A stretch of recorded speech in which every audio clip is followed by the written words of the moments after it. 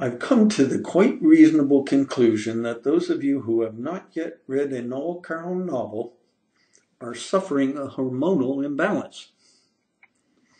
Men and women in different ways, of course. And there's good scientific evidence to back this up. Look here. I got this from Glenn Beck of Fox News. It's a fair and balanced study of dementia patients from a nursing home. And it clearly shows what we are up against.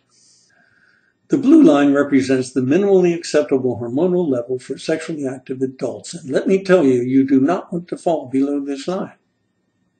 But look at the red line, those who read Noel Carroll books, how rapidly they arrive in safe territory.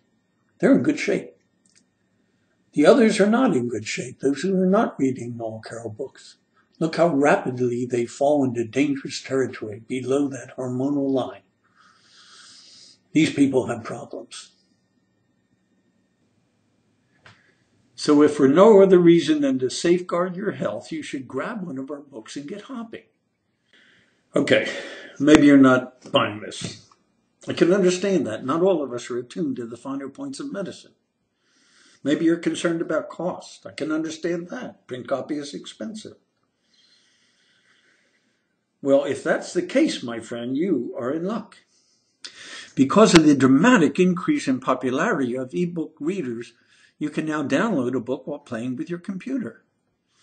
Our ebook publisher will download it in any form your reader requires. And it doesn't matter what it is. It can be a Kindle, it can be an iPad, an iPhone, an i this, and i that. Uh, it can be a Nook, it can be a Sony, it really doesn't matter. They can make it an effortless transition. One quick download and you are on your way back to good health. And they're dirt cheap. So whether for health reasons or because it's kind to your pocketbook, pick up an Noel Carroll now and get hopping. Go to our webpage, it's all explained there, including a way to download a generous sample, half the book in some cases.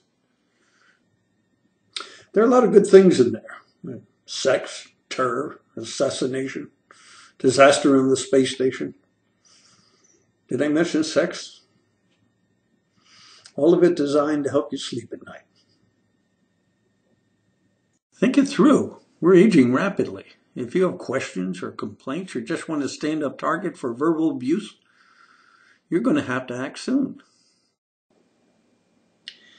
It is seldom we get a second chance in life. Don't blow this one.